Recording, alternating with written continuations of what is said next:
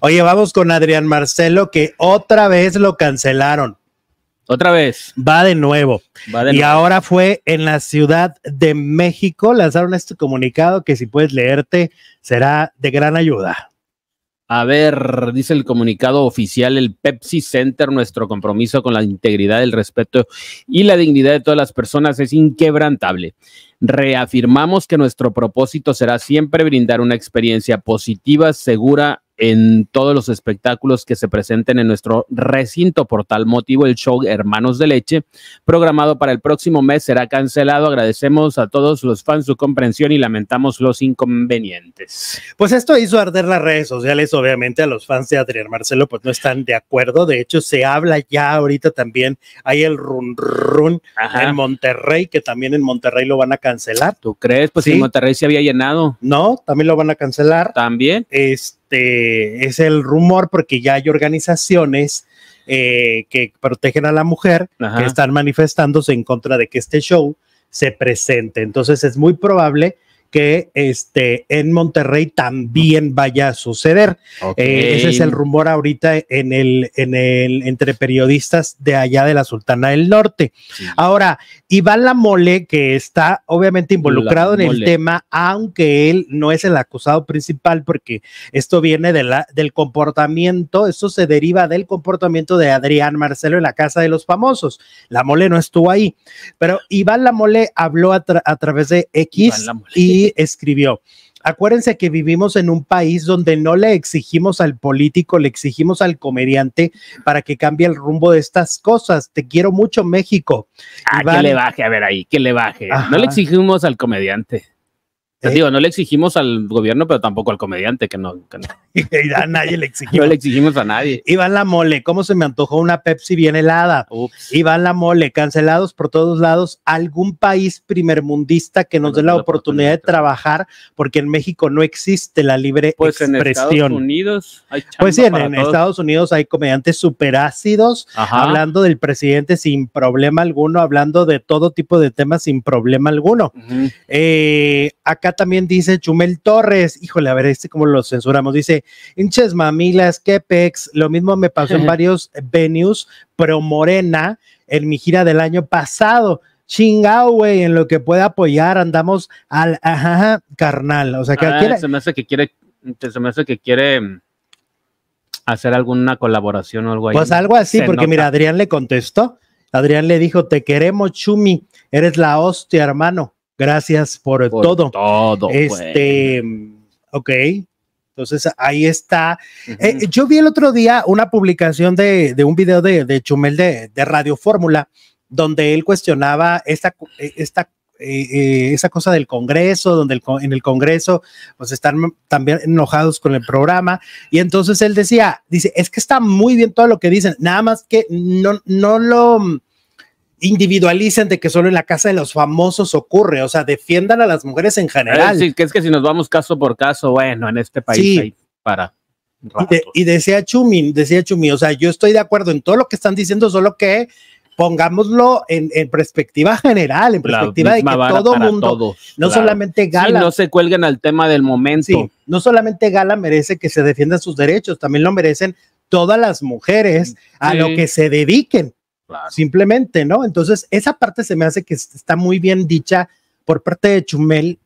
Él pues está apoyando a su gremio, lo cual no muchos están haciendo ahorita, muchos, muchos de su gremio están, "Mm, qué bonito está la pared, ¿verdad? para otro lado. Sí, ¿por qué? Porque no les conviene ponerse en la mira, porque si hay, hay otra cosa que también es una realidad. Eh, Adrián Marcelo y La Mole no serían los únicos shows que podrían cuestionarse. Hay, hay más shows y hay más casos, ¿no? Este, de algunos que como que se cayeron, se callaron y como que, por ejemplo, Mauricio Nieto, ¿no? Mauricio Nieto también estuvo acusado de cosas muy graves respecto a la violencia de género y finalmente hoy está en Televisa en, en Me Caigo de Risa y está dando stand-up.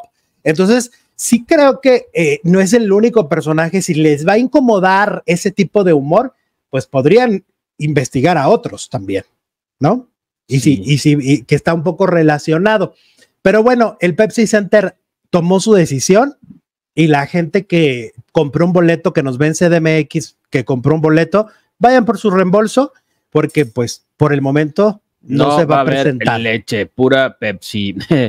Adrián Marcelo lo vetan por expresar sus pensamientos, dice sin llevarlos, ¿qué? Ahí se me fue, al ser ejecutados y lo vetan. Ay, no, bueno, Ruth Terrazas. Eh, a ver, por lo que entiendo, ataca, ataca Gala, ¿no? Ajá. E, esa, esa, parte no la, esa parte yo no la voy a entender nunca. O sea, defiendes a una persona y atacas a otra. Ah, no entiendo, pero bueno. Entonces, eh, es un tema muy delicado, es un tema donde no nos vamos a poner de acuerdo. Parece que cada quien tiene su opinión y cada quien tiene su punto de vista, lo cual está bien. Cada quien tiene derecho de comprar el boleto en donde le dé la gana o no.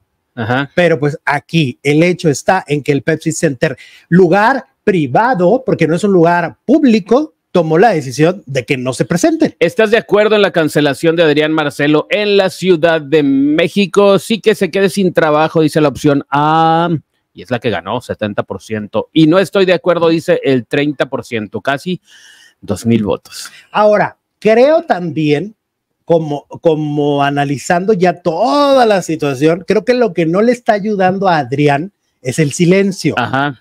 O sea, me parece que han pasado tantos días y no hemos visto una disculpa pública y no hemos visto un video de arrepentimiento. Esto genera que el público todavía está enojado con él y exigen a los lugares, exigen a las autoridades que no se presente, que no siga, porque su silencio nos hace saber que no está arrepentido de lo hecho en la casa de los famosos. Obvio. ¿no? Entonces creo que mientras él no hable, y mientras él no dé un discurso que a la opinión pública le convenza, van a seguir pidiendo su cancelación, definitivamente. Ahora, vamos con René Franco. Vamos con René Franco y este y Pepillo Origel que están en pleito. Y es que desde hace un tiempo, cuando René está en las galas, su forma de sentarse se ha cuestionado mucho de que si se le ven sus partes o no se le ven sus partes, ¿no?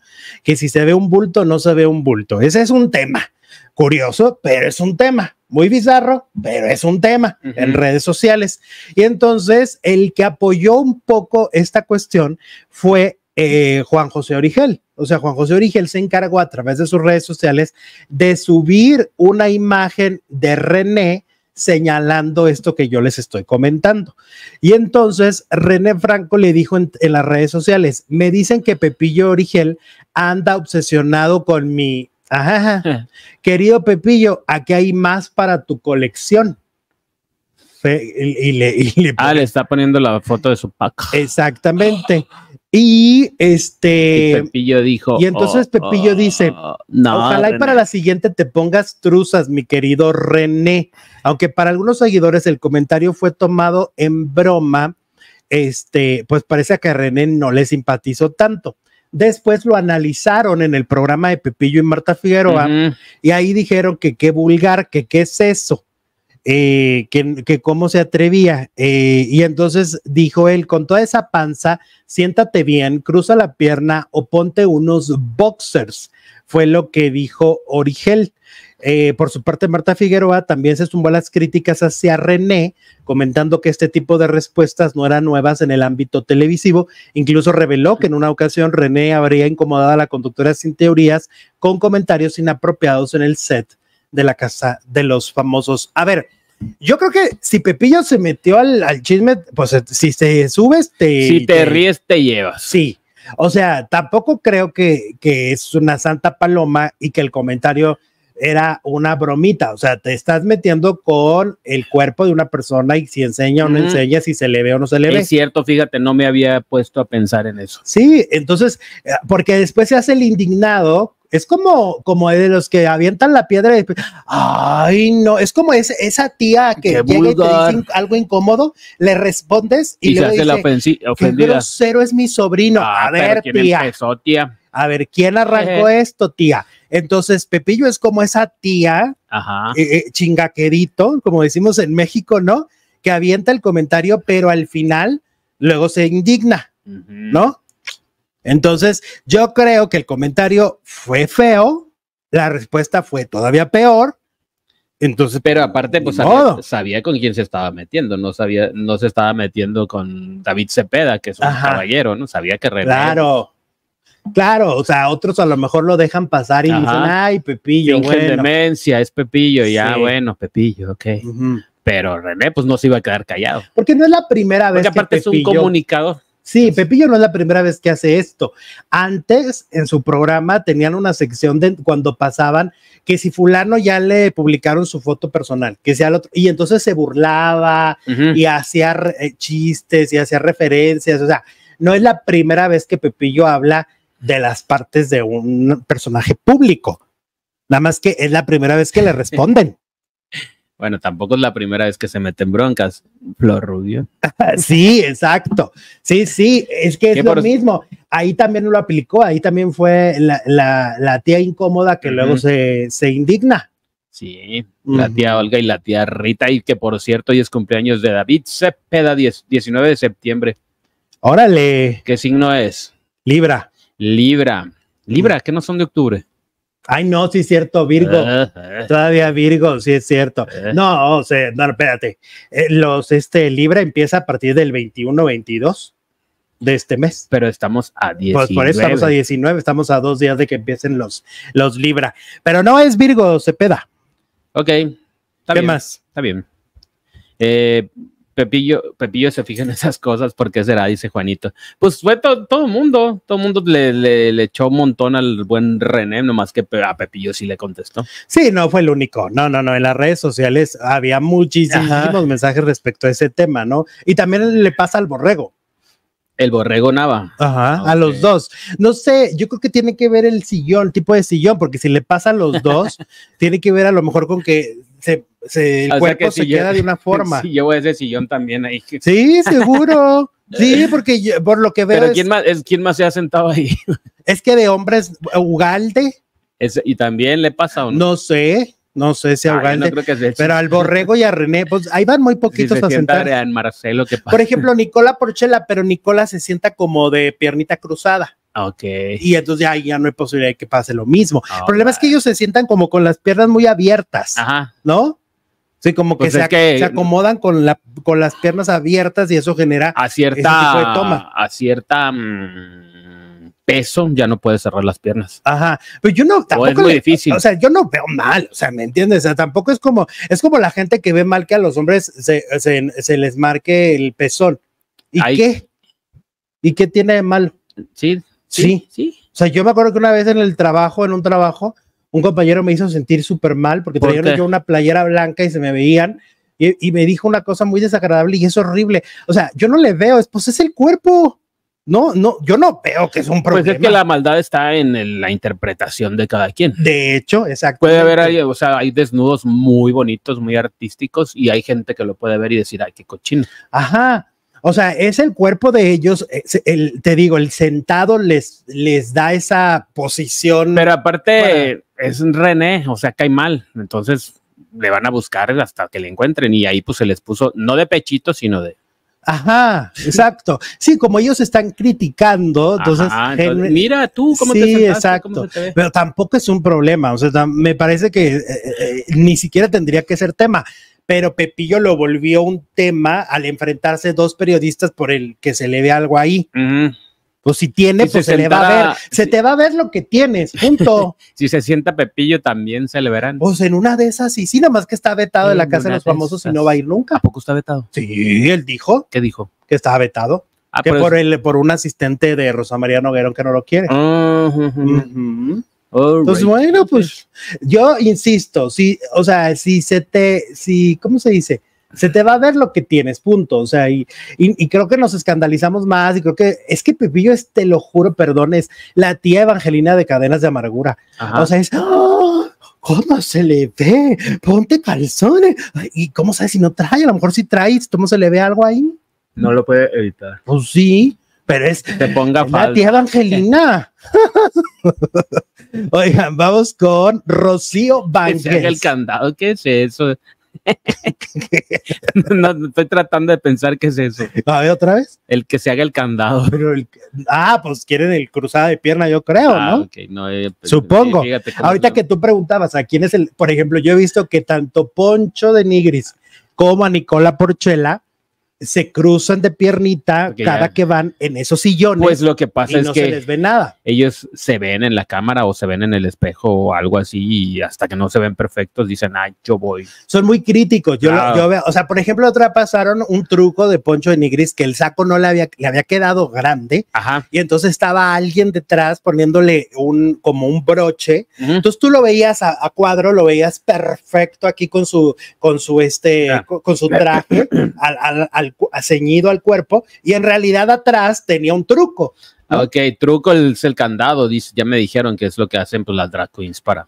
Ah, ya. Pero es que no nos deberíamos de, eh, no deberíamos de escandalizarnos porque a alguien se le ve una parte de su cuerpo, perdón. Creo que no, no debería de pasar. Pero bueno, somos las tías evangelinas. Bueno, pero en la televisión sí hay que cuidar esos detalles. Hay muchas señoras que sí se están sintiendo así como que, ay, que- pues sí, Sí. sí molesta, hay cosas que sí molestan. pero tampoco es indignante.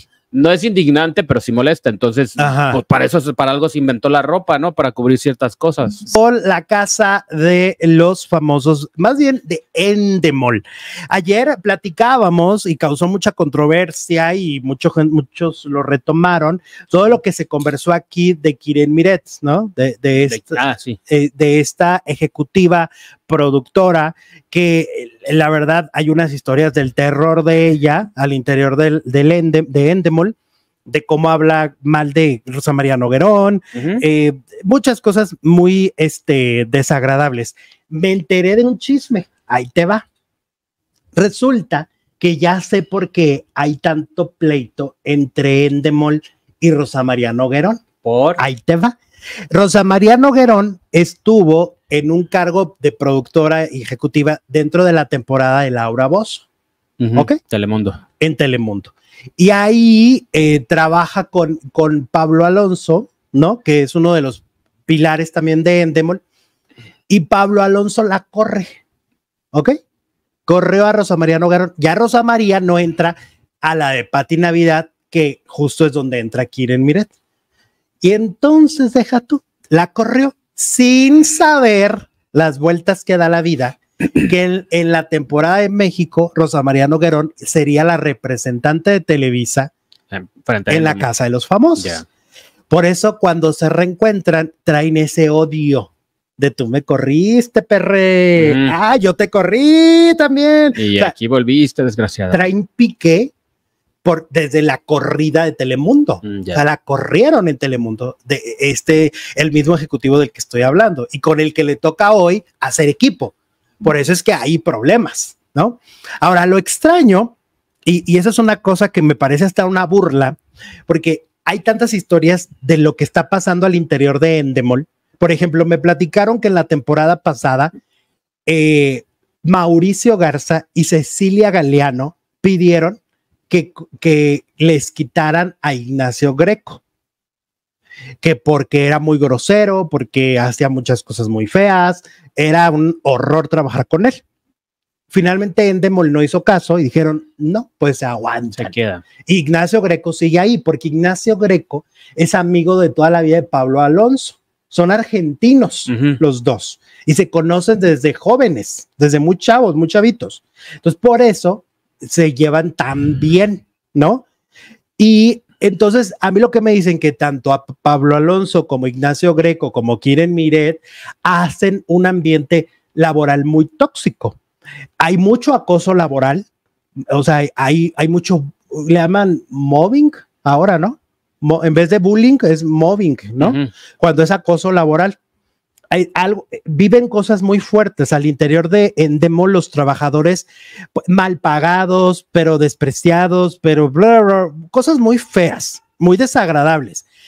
Para, pero ahí les va la mayor burla del mundo mundial. es que sí, esto a mí la verdad sí me da, sí me da risa, pero risa de esas risas incómodas, ¿no? Ya que el 28 de mayo, tienen que le- escuchar esto. El 28 de mayo del 2024, por segundo año consecutivo, Endemol Shine eh, ha sido certificada y clasificada como una de las mejores empresas para trabajar en México.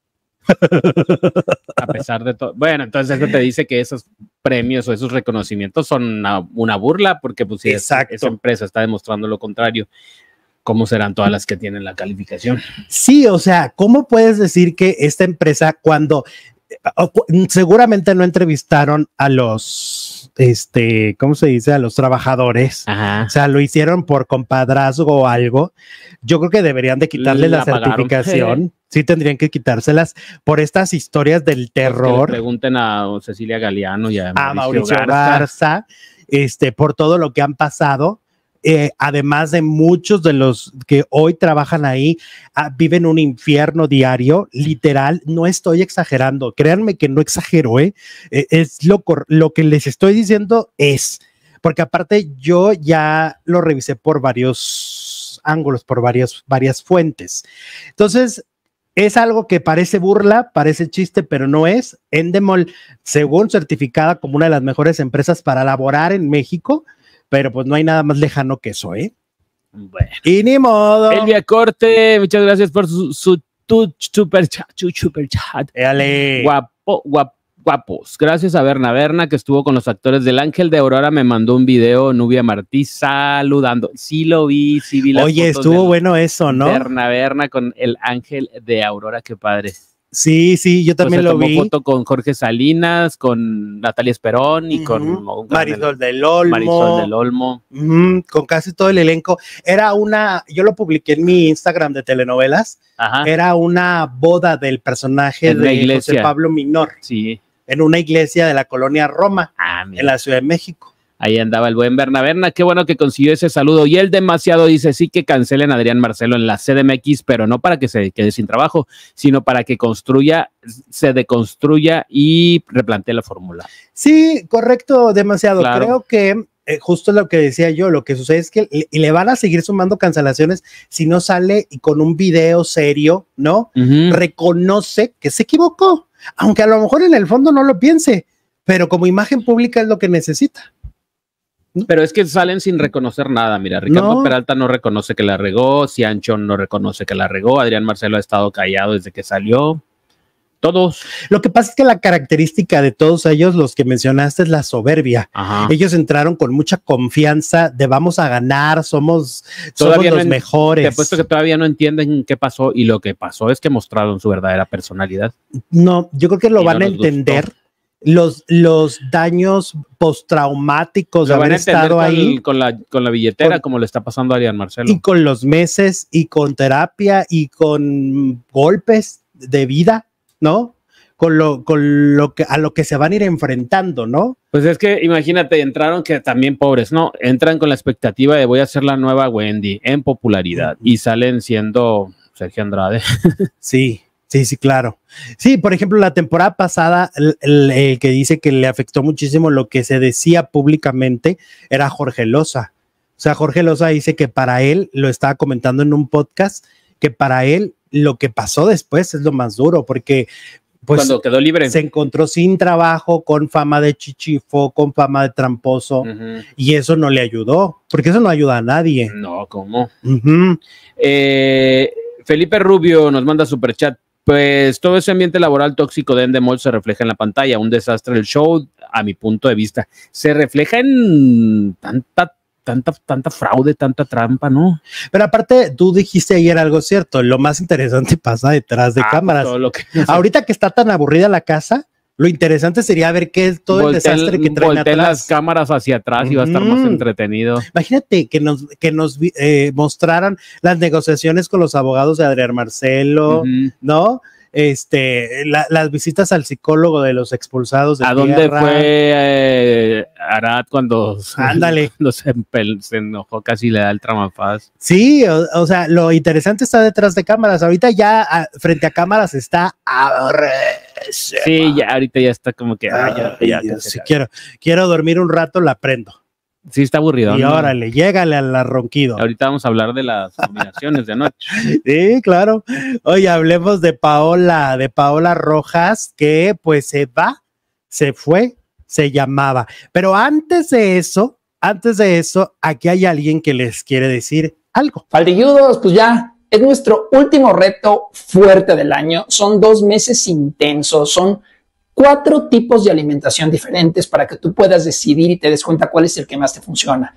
Aquí la meta es adelgazar, bajar de peso, bajar la panza. No queremos enfermarnos, no queremos tener la enfermedad de obesidad si podemos prevenirla. Y si ya la tienes, es tiempo de que gires y cambies la historia y cambies la narrativa, porque la historia de que alguien está muy gordo y así se muere, ya se contó. Sé la diferencia, atrévete, reto, adiós lonja mix ocho semanas intensas y las dietas te sirven hasta para seis meses. Mándame WhatsApp, porfa, ya, de una vez por todas. Hazlo, ahorita, mándame WhatsApp. Ahí, Ahí está, está, el WhatsApp de Loyuki de la Nutrición 55 51 03 87 21 55 51 03 87 21 lo dejaremos un ratito más uh -huh. para que la gente que no lo alcanza todavía a anotar lo pueda hacer. ¿Te parece? Me parece perfecto y qué padre, ¿no? Porque dice, son dos meses, pero te sirve para seis meses. Sí, pues aparte, de alguna manera les está ya dando el camino. Ajá. ¿no? Es, él, él está el camino a nuestros baldilludos. Oigan, vamos entonces ahora sí.